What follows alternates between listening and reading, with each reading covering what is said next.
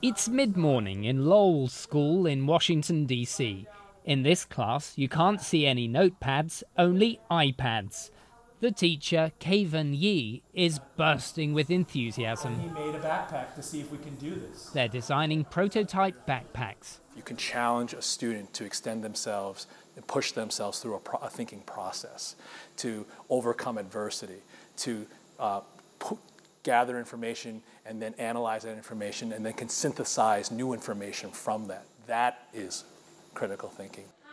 This is an example of STEM education, standing for science, technology, engineering, and math, into one class. Some also add A for art, making the acronym STEAM. As you can see, Kavan Yee's teaching philosophy emphasizes a hands on approach to problem solving. These are skills that will help these students throughout their lives.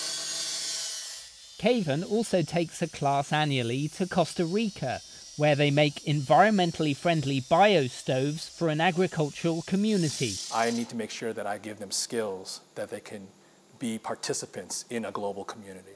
This integrated educational approach is a long way from the traditional teaching methods he recalls as a child of hardworking Hong Kong Chinese immigrants. 50 math problems over the summer, write 50 sentences, they look up in the dictionary all these vocabulary words, and all, all my friends are playing outside playing ball, and I'm sitting there like. So for this, she's.